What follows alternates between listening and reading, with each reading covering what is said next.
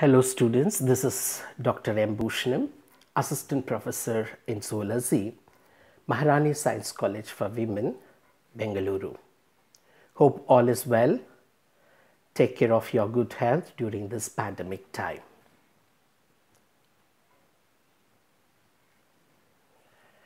In today's session, we shall understand a topic of developmental biology. It is on the concept of regeneration. It's one of the most repeated concept in the previous question papers, uh, which would be for a major question. So it is important for you to learn. The objectives of today's session is to learn the types of regeneration with the examples and to understand the concept of regeneration in um, the planaria. The contents includes under the concept of regeneration definition and types uh, namely morphallaxis and epimorphosis along with the examples and uh, second concept is regeneration in planarians.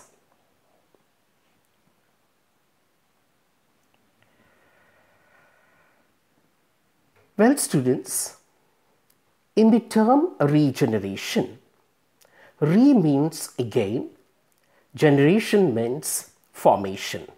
So, reformation of the last parts in the organism is generally referred as regeneration. In all organisms during their development, the germ layers consist of various dividing cells that differentiates into various body organs or body parts as they grow into the adult stage. So sometimes those body parts may get damaged or will be lost by some external forces. This causes the loss of organ in the adult organisms. But this loss will not be permanent in the organism. The physiology of the organism otherwise will not make the organism to keep it under the loss or the damage for a longer time. I mean, the lost parts of the body can be regained by the repair mechanism that happens within the um, body system. So, this mechanism is generally referred as the process of regeneration. So, the process of regeneration is commonly seen in the adult organisms when there is a damage to the organ or sometimes the loss of the um, body parts takes place. Then how to define the process of regeneration? Regeneration is defined as the natural process of replacement of um, own pa uh, out parts or sometimes uh, renew of the damaged or the lost parts of the body. So when you look at the diagram down in the, I'm sorry, the picture down in the slide, you can see towards the extreme uh, left a complete organism of planaria where there is a, a amputation or the damage is seen where there is a cut in the body of the organism. Each of the cut section can develop into a newer organism by the process of regeneration. So hardly it will take 14 days of time for the complete regeneration of this fragment into the uh, organism as a whole.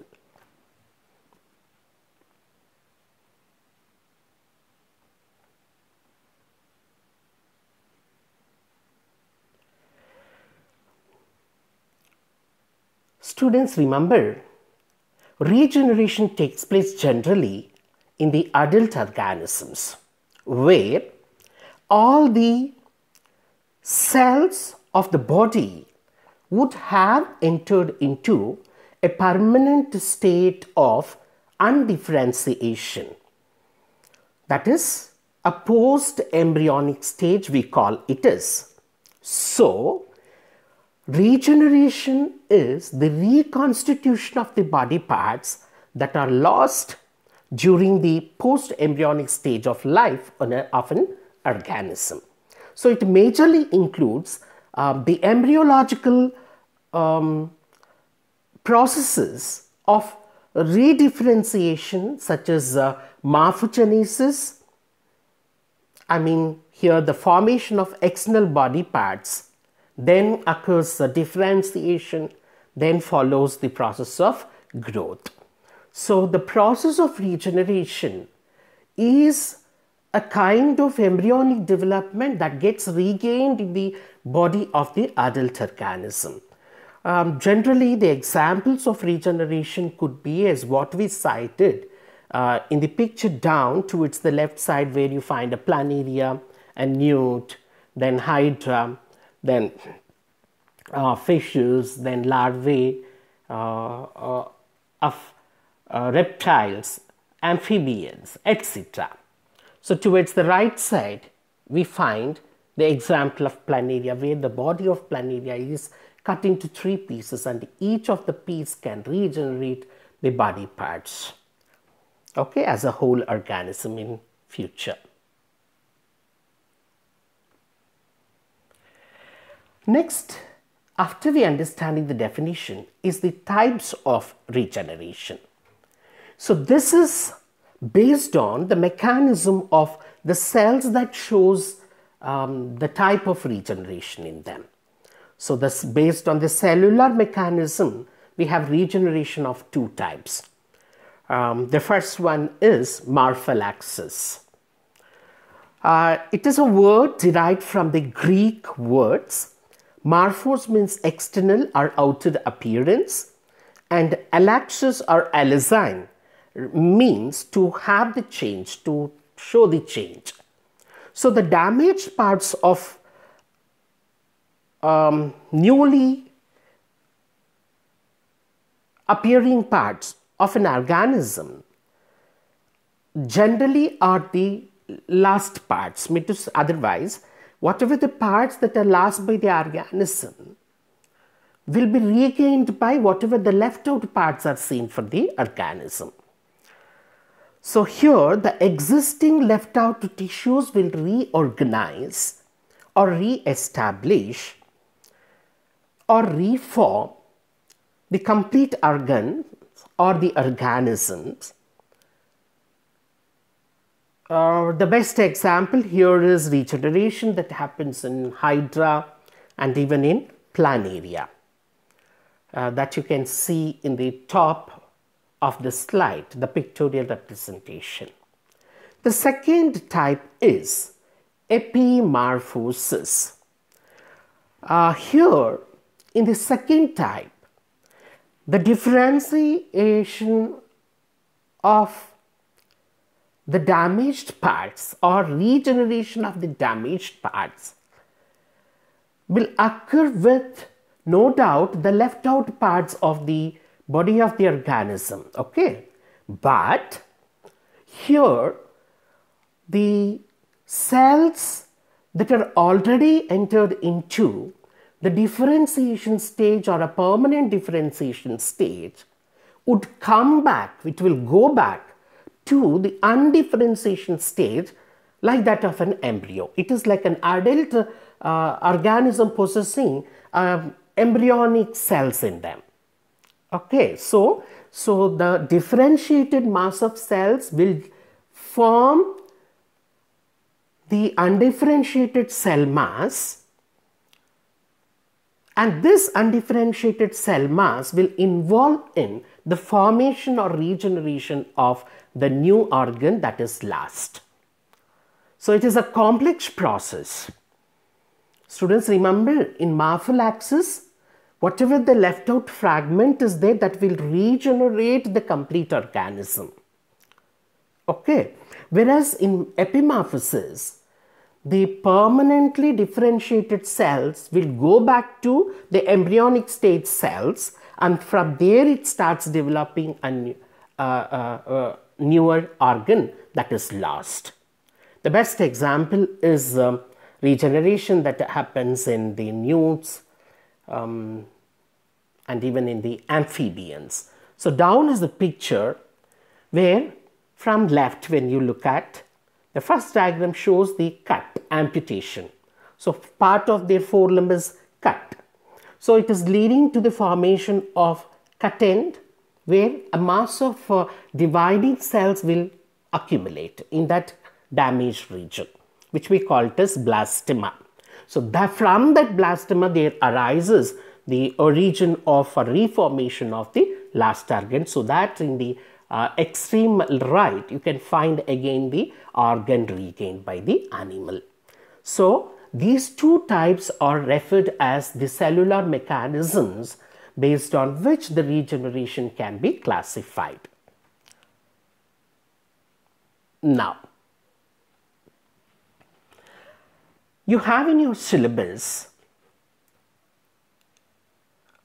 after definition and example we need to know the concept of the types of regeneration. So now we shall understand the mechanism of the first type that is morphallaxis in brief. The word morphallaxis is derived from the Greek word morphos means external and alaxis means or alazin means to have change. So just now we have understood. So the existing or left out tissues of the damaged parts will involve in the formation of the complete organism or, or in simple we can say reorganization or remodeling or repatterning of the existing tissues will be involved in the regrowth of the last parts. So this process involves a very little new growth of the organisms and later the uh, uh, further growth of the organism can take place in me uh, i mean to say here when you look at the diagram down, you find towards the extreme left one hydra, the adult hydra, where it is cut into two uh, pieces, one head region, the other basal region. Each of this region will regain the last part only. So the upper part of the, I mean, the uh, fragment piece, we call it as anterior piece, will develop only the basal region. Whereas the lower basal region will develop only the uh, uh, upper hypostome, to say the um, head region. Here what is happening is the apical part and the basal part, whatever is lost, that part alone will be regained. So it will be tiny in size. Later to that, you can find the extension or the growth of that tiny uh, organism will take place. So initially very uh, to a very negligible uh, uh, amount, the cells gets added up so that it will regenerate the last part and later it grows into the adult. So you can look at the uh, extreme right side. Two uh, hydra that are seen are of tiny in size that will attain to the size of the adult organism later. So very less new growth is seen in the uh, morphallaxis process, but it is a completion of regain of the damaged part. So this is what we find. And this morphallaxis is commonly seen in the organisms of planaria and even in the hydra.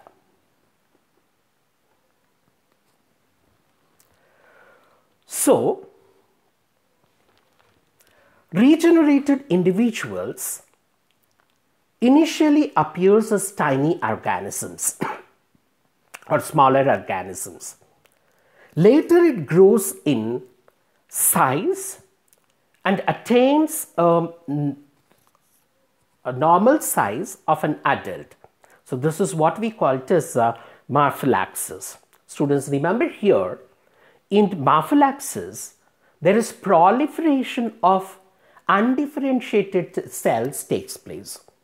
So there are undifferentiated cells, excuse me, which are left within the body of the organisms.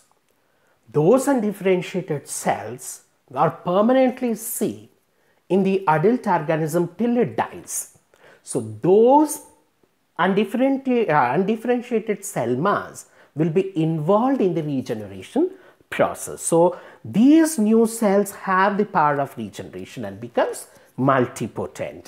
And these multipotent cells are collectively called as neoblasts, where neo means new, blast means the dividing cells that will reform the uh, organ structures. So neoblasts are unspecialized or undifferentiated cell mass. So here in the picture when you look at, we find uh, a mass of cells from the adult organism. These neoblasts are again classified into different types which will involve in the regeneration of the organs respectively. So here is an example of regeneration uh, uh, towards the extreme left is the hydra and towards the right side down is the planaria where a small fragment will develop into the complete body of the organism. In case of planaria when you look at down towards the um, right side, the complete body of planaria is divided into three pieces.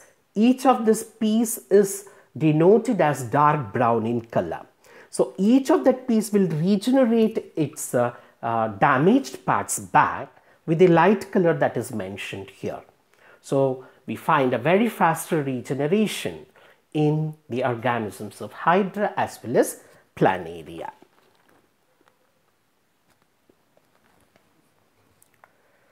And that's the type of reproduction of asexual type that we find in Planaria as well as uh, in Hydra.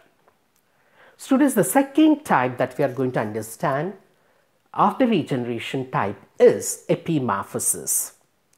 So as we have understood the concept early in the uh, session of today, it refers to the reversal of permanent differentiated cellular uh, stage to dedifferentiation and redifferentiation stages by using the cell mass of undifferentiated cells.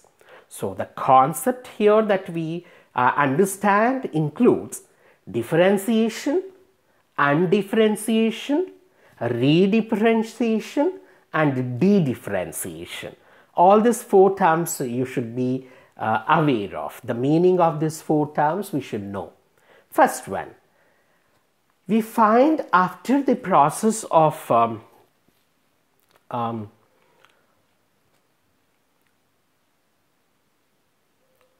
a blastula, the development stage includes the gastrula, where three different germ layers are formed, namely outer ectoderm, middle mesoderm, and inner endoderm.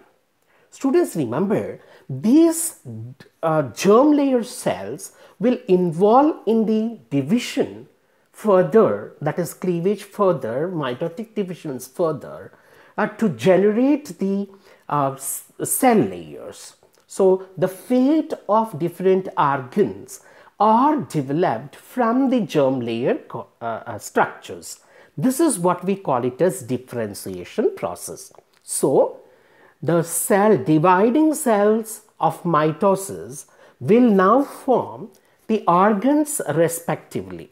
For example, ectoderm will give rise to the skin of the organism that is epidermis as well as the nervous system. So nervous system epidermis and their epidermal derivatives are derived from or formed from the germ layer ectoderm.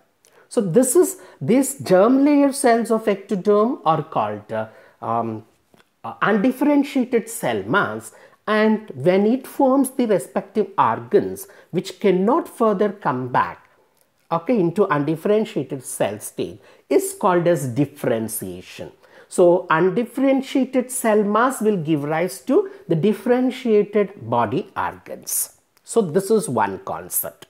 Sometimes what happens is that the differentiated, permanently differentiated cell mass can revert back to undifferentiated cell uh, uh, uh, property.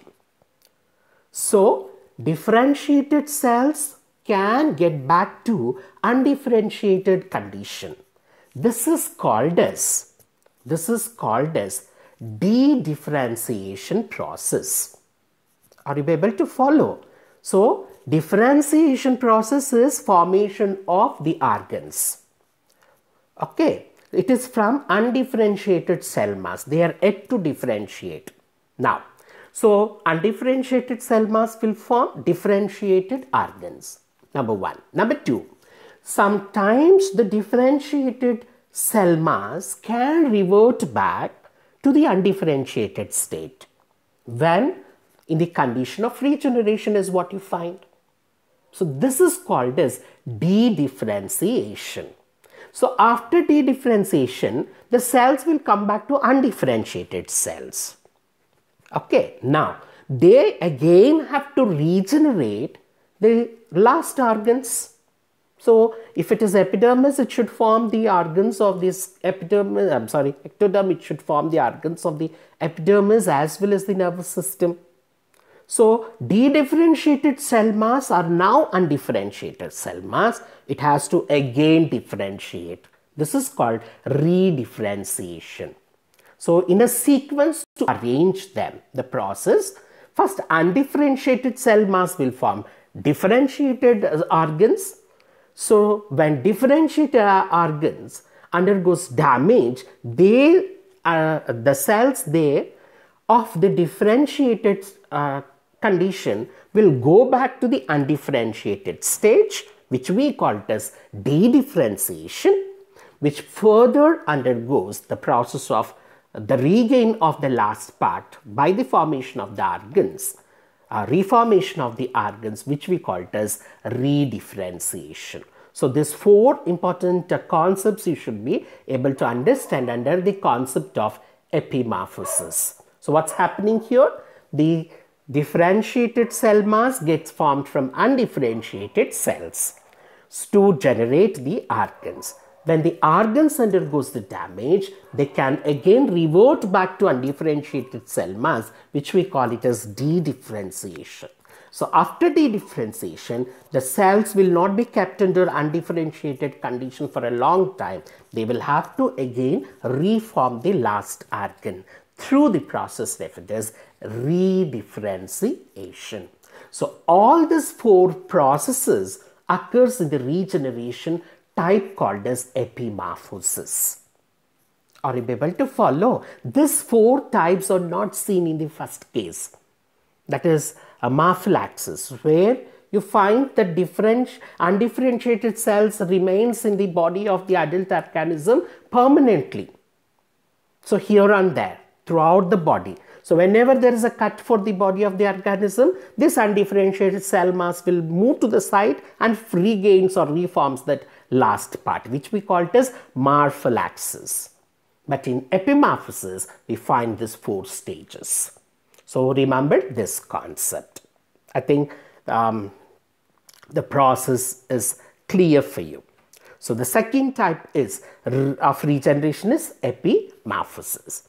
So as we understand the concept of epimorphosis, where the organ damage will lead to the formation of a cover at the site of damage. When there is a cut in the body of the organisms, like uh, newts or sometimes amphibians, reptiles. So that damaged part will have the formation of a new cover of epidermis. So this uh, is the first stage which we call it as wound healing. So the wound healing starts with the formation of an epidermis to cover um, the damaged part. Number one. Number two, it will trigger further stages of the development of the organ or regeneration of the organ. Here, after the epidermis gets formed, a cell mass of undifferentiated condition will move to the site of damage. Now there they accumulate to form a mass of cells which we call it as conical hump or conical lump of uh, dividing cells. So this mass of um, uh, dividing cells or undifferentiated cell mass is now called as regeneration bud or regeneration blastema. I think the concept is clear students. In epimorphosis, when there is a cut or damage for the body of the organism or organ of the body of organism, there occurs first the wound healing by the formation of an epidermal cover.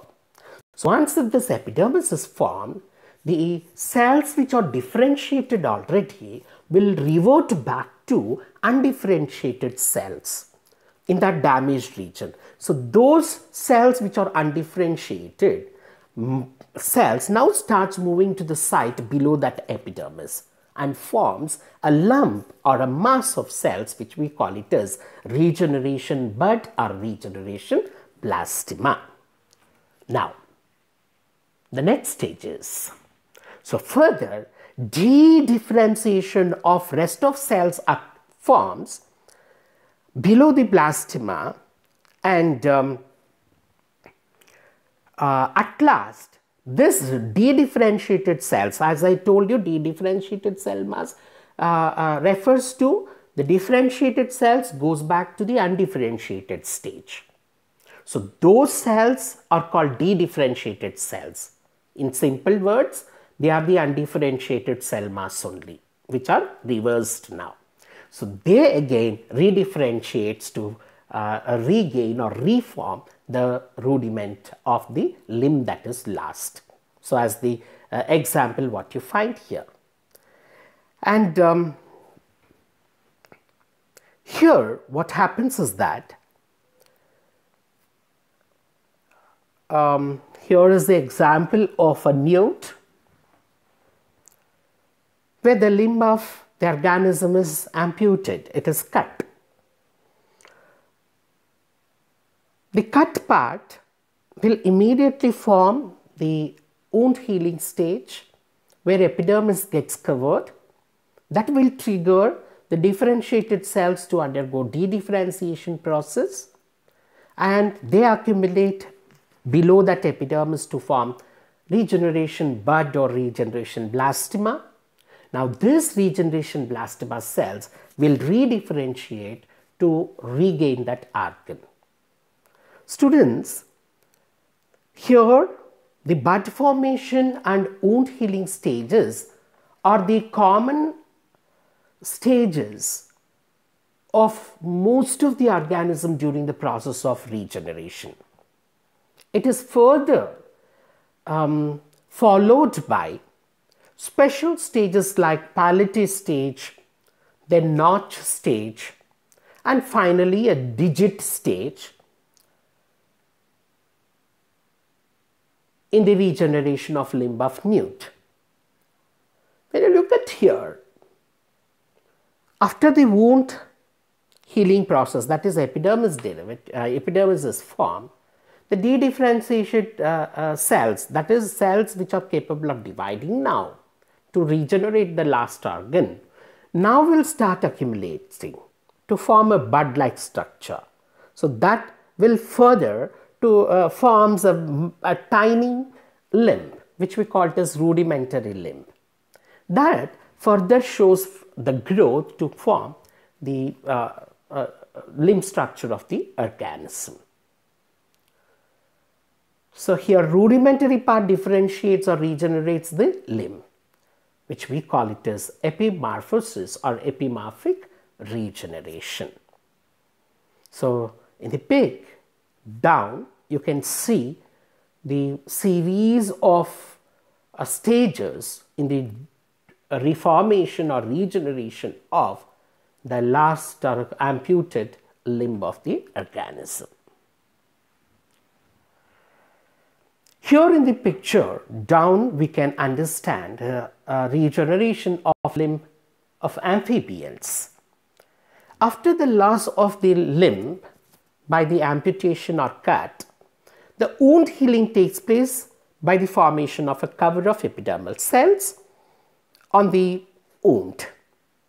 And this stage is followed by accumulation of um, dedifferentiated cell mass, which we call as regeneration bud or blastema stage.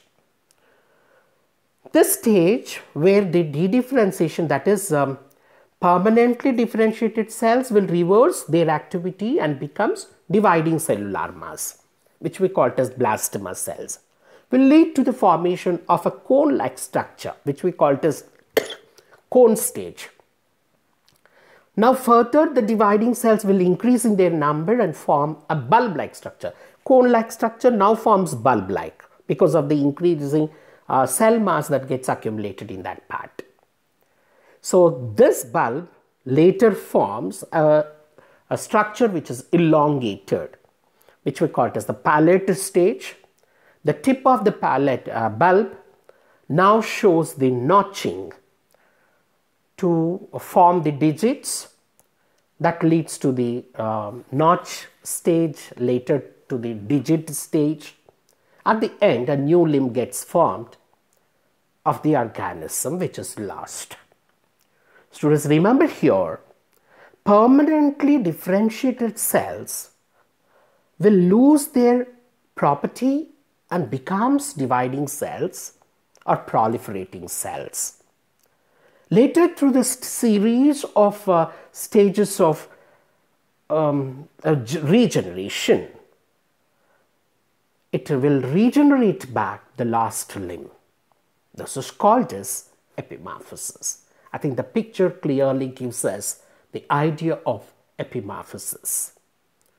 With this, we complete the definition, the types, and examples prescribed in your syllabus. So the next concept of your syllabus under regeneration is regeneration with reference to planaria we need to understand.